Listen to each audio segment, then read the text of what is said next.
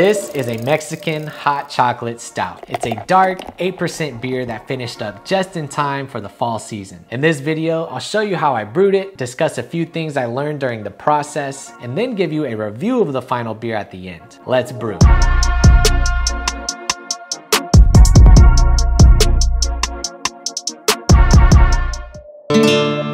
Mexican hot chocolate is a chocolate-based drink typically made with cocoa, vanilla, and cinnamon, and it can range from sweet to spicy. I brewed this beer with some chili peppers and added a vodka-based tincture with additional spices after fermentation. I'll show you the tincture towards the end. The base of this recipe is two row malt, which accounts for about 74% of the grain bill. I also have some flaked oats to give the beer a smooth, silky texture as well as some body. I have equal parts of Munich chocolate malt and Carafa 2, which combined make up about 12% of the recipe. These will give some toasted, chocolatey notes to the beer and also some color. To get that really dark roast flavor and additional color, I'm adding in just 2% of roasted barley. Lastly, I'll be adding in one pound of lactose to the boil for additional body and also sweetness.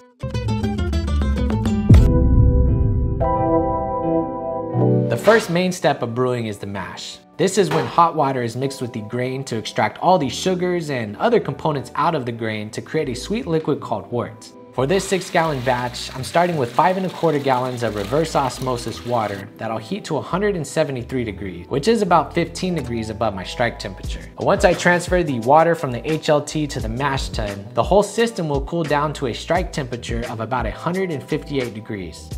I'll let the HLT finish heating up and go mill my grains to get them crushed.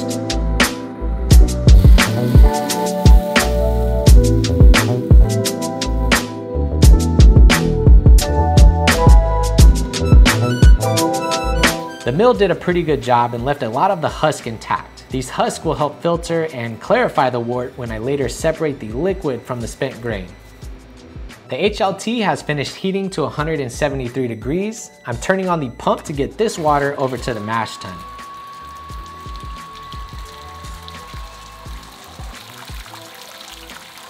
The hot water has been recirculating through the system for a few minutes and has now stabilized at 158 degrees.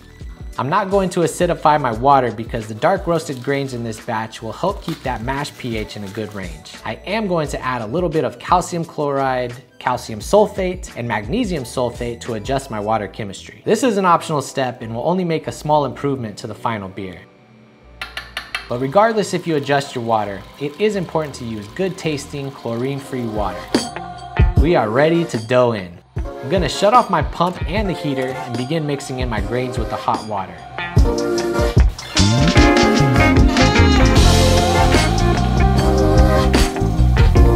The key here is to slowly and evenly mix the grain with the hot water so that we can avoid getting dough balls in here, which are basically just clumps of grain that prevent water from evenly penetrating the grain. After adding in the grain, the mash tun has cooled down to 150 degrees, which is our mash temperature for this beer. I'm gonna put on the lid and recirculate this at 150 degrees for the next 45 minutes.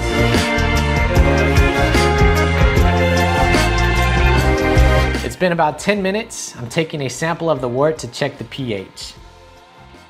When measuring the pH, it's best to cool the sample down to room temperature. I always use a little bowl of ice water to sit my sample cup in there for just about a minute or two to get that temperature down. We are at 5.36. The mash still has about 30 minutes to go, so I'm gonna heat up the sparge water in my HLT. This is another five and a quarter gallons of RO that I'm gonna heat to 170 degrees for the lauter step. The 45 minute mash is complete. I'm now going to step the mash temperature up to 168 degrees for the lauter. The mash tun is now at 168 degrees. I'm going to start transferring the wort from the mash tun over to the boil kettle. And on my system, I do this through the Whirlpool port. I'm also going to open up the HLT to start sparging. The sparge process I'm doing is called a fly sparge. The intent is to keep the flow rates equal between the HLT and the boil kettle. So basically, I'm adding water at the same rate that I'm transferring to the boil kettle. It's important to go slow here so that you can get a good, nice even rinse of the grain. For a batch this size, you should be shooting for about 40 to 60 minutes at a minimum. This will help ensure you get a good extraction and mash efficiency. Now that we have seven gallons in the boil kettle, I'm turning on the boil heater so that I can start heating up the wort while the remaining volume is transferring. We have eight and a half gallons in the kettle. This is our full pre-boil volume. I'm gonna stir this up really quick and then take a sample so I can measure the pre-boil gravity. And this will tell us how well we extracted the grains. I'm putting a few milliliters into the EasyDens, which is a tool used to measure the density of the wort. This only takes a few seconds and it calculates the specific gravity using the Brewmeister app. We are at 1.061. The hot break is just starting to form, so I'm gonna add a few drops of anti-foaming agent so that this doesn't boil over. I'll usually wait until the hot break is finished and then I'll add in my hops. This is 35 grams of Warrior hops, which will add about 47 IBUs to the beer.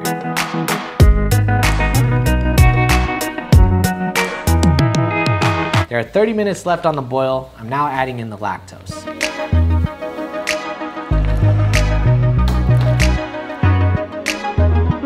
For the final 10 minutes of the boil, I'm adding in 2.6 grams of yeast nutrient. This is optional and it's really just cheap insurance. For an all malt wort like this one, the grain will provide all the yeast nutrients needed with the exception of zinc.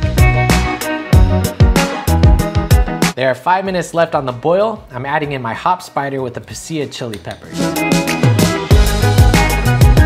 The boil is finished, so I'm turning off the heater and I'm gonna start a five minute whirlpool.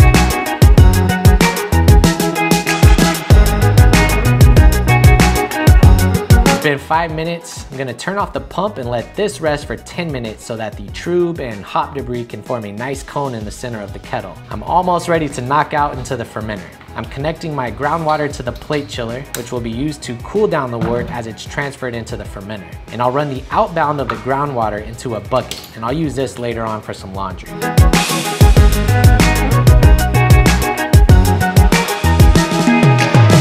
I'll be fermenting this batch at 67 degrees, but I'm gonna cool it down to 65 degrees for the yeast pitch. While the fermenter is cooling, I'm gonna oxygenate my wort through the carb stone on my unitank. And I'll oxygenate for 90 seconds at a flow rate of one liter per minute. I'm taking a small sample from the fermenter to measure the oxygen concentration and also the original gravity. First, I'll measure the gravity with the EasyDens. We are at a gravity of 1.086. Next, I'll measure the oxygen concentration. A good goal here is about 10 to 15 ppm of oxygen. The last step for today, the yeast pitch. After the boil process, it's very important to keep everything sanitized to prevent bacterial infections. I made a yeast starter for this batch about 24 hours ago, and I'm gonna pitch the full 1.5 liters directly into the fermenter.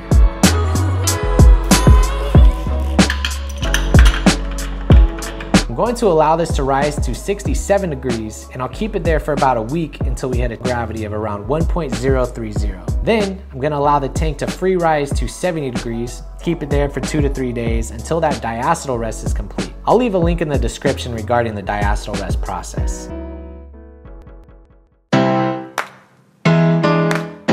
Okay, fermentation is over and I did a quick taste test. I'm now gonna make a tincture with some guajillo chiles, cacao nibs, cinnamon, and also vodka. I'm gonna add 28 grams of whole guajillo chiles, but after chopping and deseeding them, we'll be at about 18 or 19 grams. I'm also adding 85 grams of cacao nibs and one 13 gram cinnamon stick. Lastly, I'm gonna submerge all this in some vodka. I'm trying to use as little vodka as possible, but it took about eight fluid ounces to get everything covered. I'm gonna close this up, keep it at room temperature for about a week, and then I'll add just the liquid portion to the fermenter.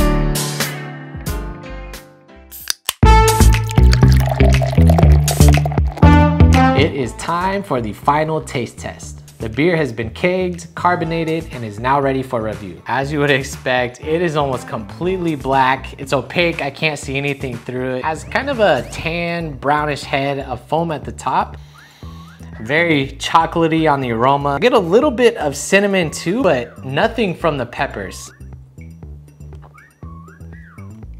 Oh yeah, those peppers are there. There's a little bit of heat. Definitely taste the peppers, followed by that chocolatiness. The cinnamon is definitely perceptible, but I think what I'm gonna do, I added 13 grams to the tincture, but I think I might increase that to maybe 20, maybe double it to like 26. But other than that, I think I'll keep the base recipe the same. I'm pretty happy with this beer. I think the only thing that I might change is the cinnamon. I think I might increase that just a little bit. But that is it for today's brew day. Thank you so much for hanging out for this Mexican hot chocolate stout brew day. That's a lot to say. Let me know in the comments if you have any questions and don't forget to subscribe. Cheers.